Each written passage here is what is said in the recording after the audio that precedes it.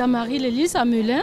Je me réveille tous les 4 heures du matin pour me préparer et j'arrive à l'Assemblée nationale presque 6h40 comme ça. Voilà, tous les matins, de lundi à vendredi.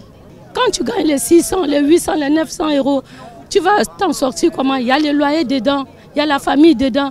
Donc c'est pour cela la vie est chère. Il faut savoir que le salaire euh, national d'une auxiliaire de vie, c'est 682 euros par mois. Donc avec euh, cette somme-là, euh, on ne peut pas faire grand-chose en fait. Hein. Quand on a payé son loyer et quelques factures, on n'y arrive pas, on s'en sort plus. Voilà, moi j'ai un 120 heures et je gagne 1050 euros net par mois. Il y a 31 ans que je suis auxiliaire de vie.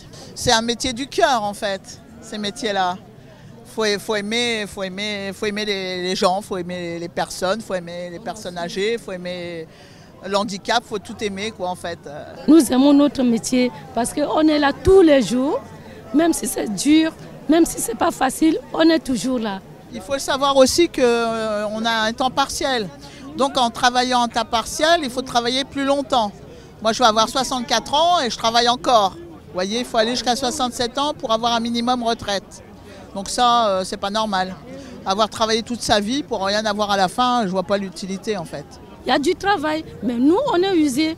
Chacun à son tour.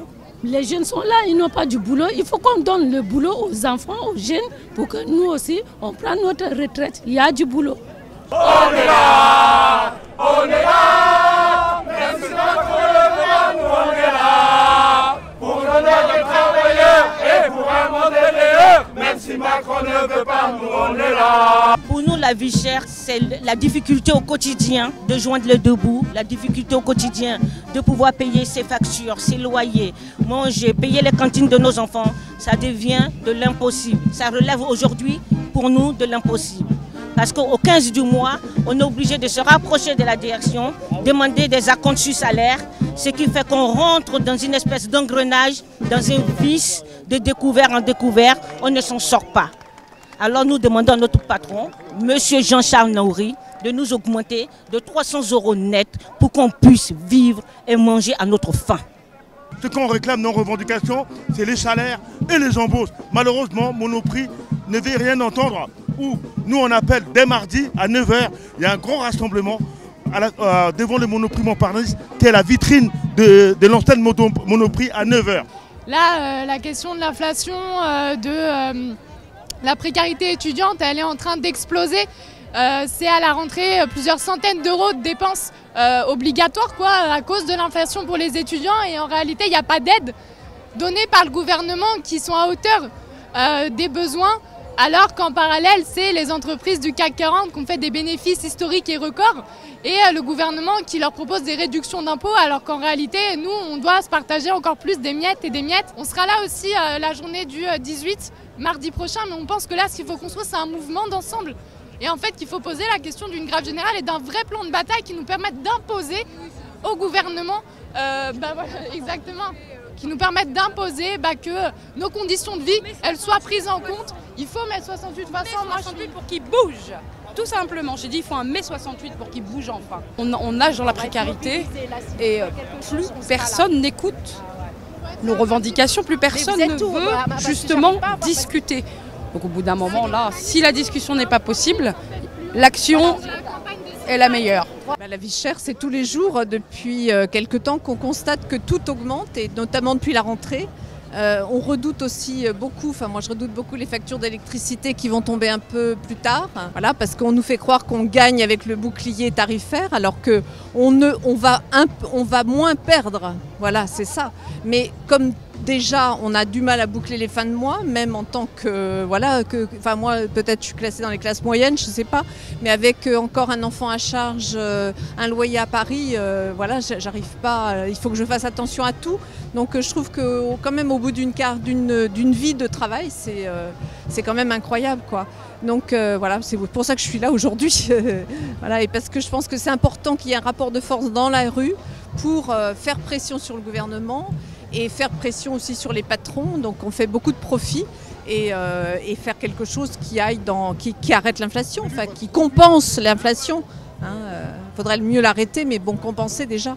Je, reste gilet jaune de cœur parce que j'ai trouvé que c'était un mouvement euh, formidable de liberté, de reconquête de la rue et de la démocratie. Et que euh, ben, voilà, c'est quelque chose que j'ai vécu qui est euh, historique, je trouve. Donc je reste gilet jaune. D'ailleurs, il y, a, y a beaucoup de mes camarades qui ressortent là. Le mouvement des Gilets jaunes, ce sont des, des millions de gens qui étaient dans la rue. Ces millions d'êtres humains, ils n'ont pas, ils se sont pas dissous. Voilà, donc euh, ils, sont, ils, sont, ils sont redescendus dans la rue pour les retraites et ils redescendent dans la rue maintenant.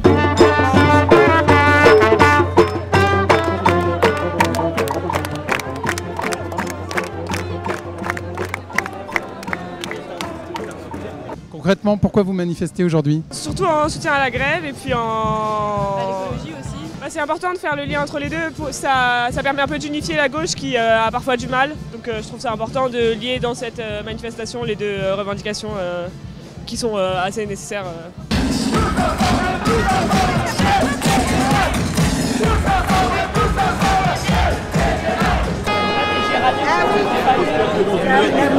Euh. Je suis Sauve, je fais partie d'Extinction Rébellion et aujourd'hui on est là pour, euh, pour montrer que euh, la, justice climatique et la justice sociale sont une et indissociables et, et qu'on soutient, soutient tous, les, tous les messages portés par cette marche.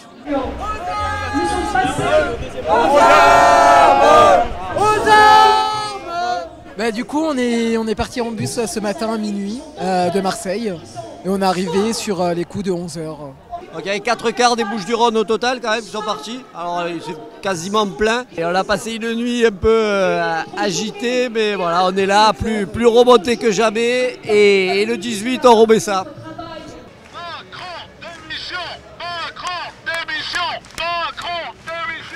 On est là, on est là, même si Jean-Luc ne veut pas, nous on est là.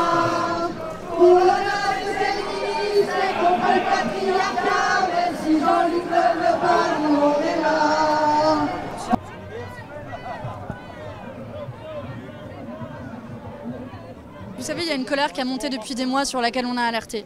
Une colère qui est issue euh, de l'augmentation du coût de la vie et des salaires qui ne suivent pas. Et aujourd'hui, cette colère, elle s'exprime euh, dans la rue avec des gens qui disent euh, en fait, on étouffe.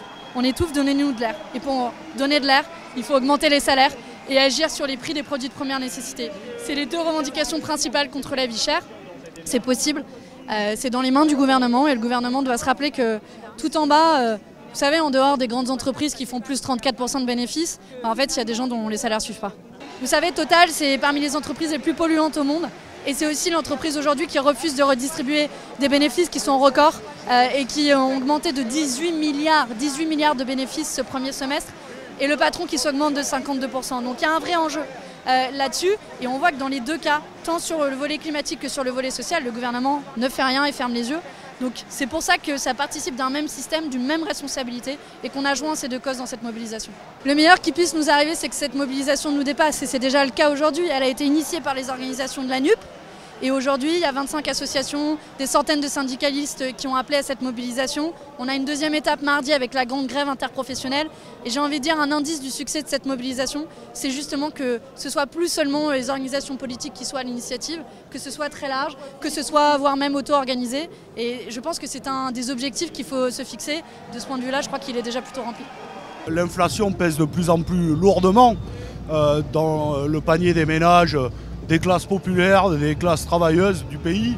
L'explosion des prix de, l'énergie va peser extrêmement lourd euh, tout début 2023 avec une hausse annoncée euh, de 15%. Et pour l'instant, il y a toujours un refus du gouvernement d'augmenter les salaires pour pouvoir vivre dignement euh, des fruits de son travail. Et donc il y a besoin de se mobiliser pour faire pression sur son gouvernement et lui dire que maintenant l'urgence n'est pas euh, à réformer l'assurance chômage ou à faire travailler les gens plus longtemps. L'urgence est à augmenter les salaires du pays et à bloquer les prix et à agir véritablement pour l'urgence sociale et climatique.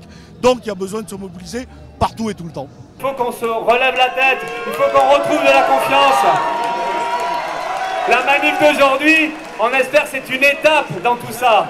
On ne gagnera pas contre ce gouvernement, on ne gagnera pas contre Emmanuel Macron seulement dans l'hémicycle et dans l'Assemblée. On aura besoin de la rue et de la mobilisation populaire. se battre pour l'assurance chômage à un moment où le gouvernement de prélever 2 milliards d'euros. Le peuple français relève la tête et euh, ce qui n'était pas forcément euh, visible le devient progressivement, entreprise par entreprise, dans la rue, avec des gens qui ne supportent plus cette idée que les inégalités peuvent s'accroître indéfiniment, avec un CAC 40 arrogant, un grand patronat qui continue à considérer qu'il est le seul à pouvoir faire la loi dans ce pays. Il y a un peuple français qui se rebelle, qui se révolte et qui dit euh, qu'il souhaite partager les richesses. Et euh, nous sommes là pour dire que nous les soutenons dans ce combat, que nous sommes même aux avant-postes à l'Assemblée et euh, avec le mouvement social. Je pense qu'il y a une grande colère sociale qui est en train de monter et qui pose la question de la rémunération du travail, l'augmentation des salaires. Aujourd'hui, il y a des millions de Français qui bossent, qui bossent à temps plein et qui n'arrivent pas à boucler leur fin de mois à cause de, de l'inflation. Et donc, je pense que cette colère, elle est là, elle s'exprime. Elle s'exprime aujourd'hui dans la rue, la semaine prochaine par des grèves. Et en tout cas, il y a des choses qui sont en train de monter et qui, qui vont devenir incontournables.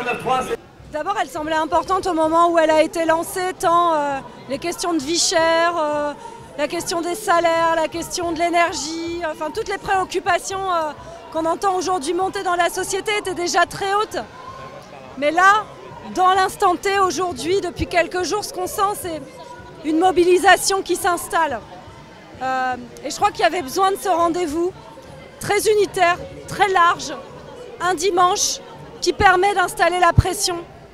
L'idée aussi qu'il y a des rassemblements qui vont bien se passer comme aujourd'hui, qui sont joyeux, enthousiasmants, et que c'est la force du nombre qui va nous permettre de gagner. Donc il faut faire des démonstrations de ce type.